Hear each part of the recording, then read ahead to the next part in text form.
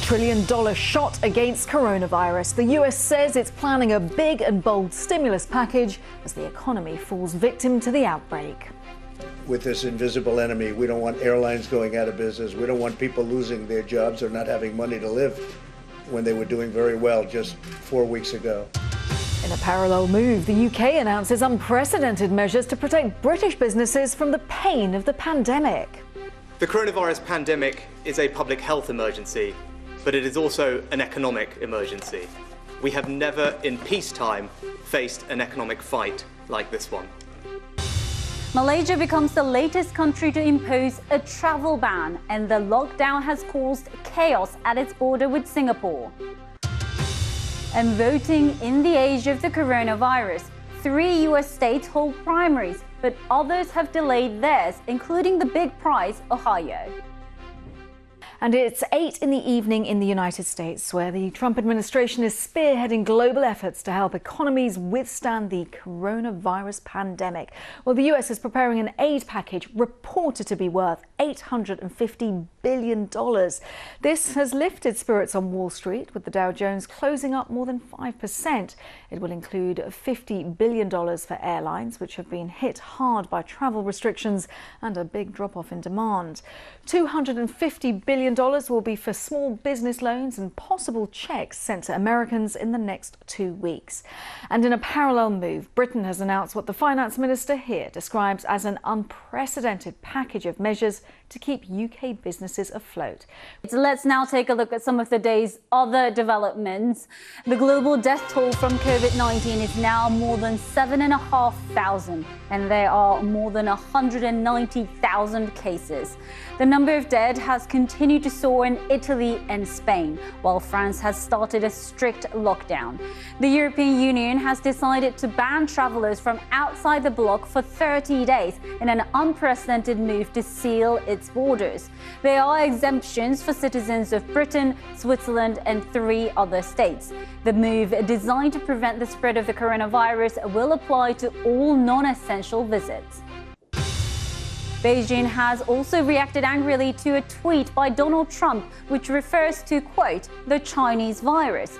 A foreign ministry spokesperson said the phrase stigmatized China.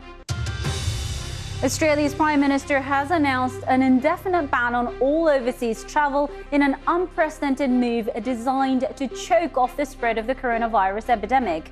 Scott Morrison said the instruction was very clear, saying the biggest risk and incidence of cases has come from Australians returning from overseas, and adding, if we slow the spread, we do save lives. And European football's governing body, UEFA, has now confirmed that Euro 2020 will be delayed by a year to the summer of 2021. They've also confirmed that all club and national team competitions for both men and women's teams have been put on hold until further notice due to the epidemic. It's also dominating the papers. Let's start with the Japan Times, which leads on the future of the Tokyo Olympics. The paper says that the Prime Minister Shinzo Abe may have accepted that the Games need to be postponed because of the risks of the virus. And the image is of him on a conference call. He's talking to other G7 leaders. They're discussing how to manage this global crisis. The Philippine Star has a dramatic picture of people who are behind those police barriers after a community quarantine was introduced in Bulacan. And the paper says that President Duterte, seen there, has declared a six month nationwide, what he describes as a state of calamity to combat coronavirus. And finally, the New York Times focuses on Italy, where traditional funerals have been banned. This image is of undertakers in Bergamo, where the cemetery has been closed for the very first time since the First World War. So the paper's dominated by coronavirus. And here in the UK, a big increase in restrictions on everyday life has been partly prompted by research from Imperial College London. Of course, a story we brought you last night. The scientific modelling from a team there warned that Britain was on course for a catastrophic epidemic and that the number of deaths in the UK could reach a quarter of a million. Well, that was unless officials took a very different approach to the pandemic. Life under lockdown. The French are now pretty much banned from leaving their homes, even to visit family and friends. The Australian Prime Minister has announced an indefinite ban on all overseas travel.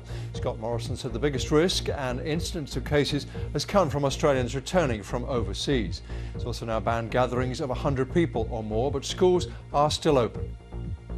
Brazil has announced the partial closure of its land border with Venezuela, banning Venezuelans and other foreigners from crossing. At least 30 people have tested positive in Venezuela. In Brazil, there are about 300 confirmed cases. One person has died.